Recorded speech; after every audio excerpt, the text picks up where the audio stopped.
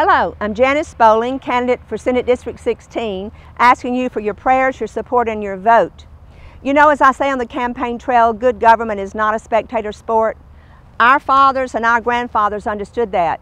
They worked hard and they fought hard to give us a land filled with freedom, a land filled with opportunity, a respect for life, liberty, and the pursuit of happiness.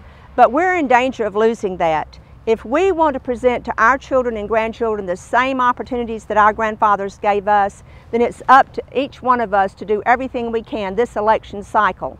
I've been working hard to let folks know what I believe in. If you believe in the same things, then I need your help, I need your vote, so that I can be the voice of our values in Nashville, Tennessee.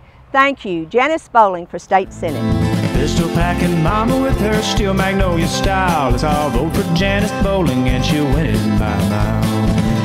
Common sense conservative working hard for you in Nashville, I'm Janice Bowling, asking for your prayers, your support, and your vote. Paid for by Janice Bowling for State Senate, Temple Bowling Treasurer.